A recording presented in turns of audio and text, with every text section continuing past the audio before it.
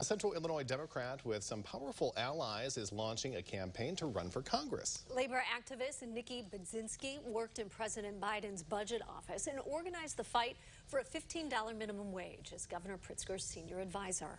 Our Capitol Bureau Chief Mark Maxwell is live in Springfield. Mark, she's announcing plans to run against Congressman Rodney Davis.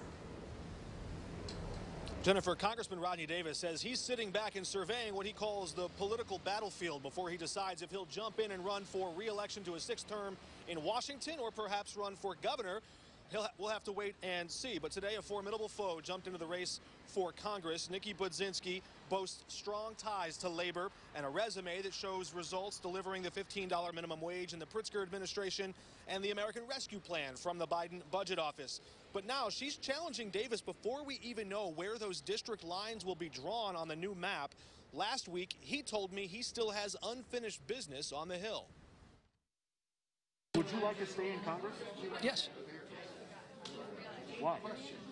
Because I think we've got a great opportunity as we retake the majority. Republicans will win the majority in Congress in 2022. I'm running for Congress because in Illinois, the middle class is slipping away, and Rodney Davis isn't doing enough to protect Illinois' working families.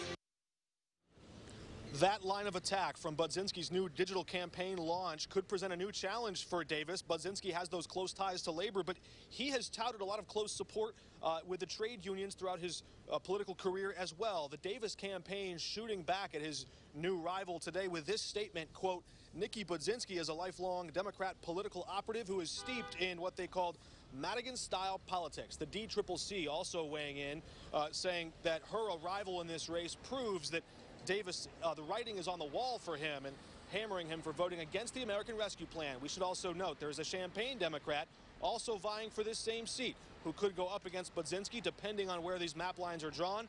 David Palmer telling me tonight he didn't even know she was from this district. She just moved back here last month. Reporting in Springfield, Mark Maxwell, WCIA 3, your local news leader. Mark, Jennifer? thank you.